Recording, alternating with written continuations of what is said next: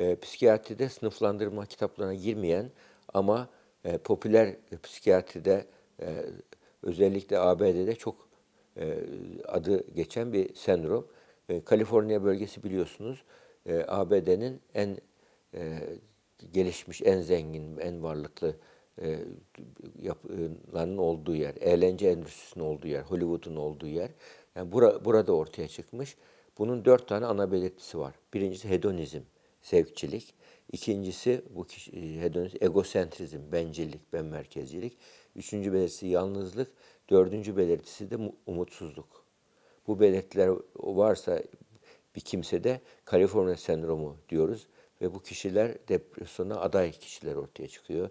Boşanmaya aday kişiler ortaya çıkıyor ve e, e, e, çocuk ruh sağlığı problemlerinin çok çıktığı aileler ortaya çıkıyor.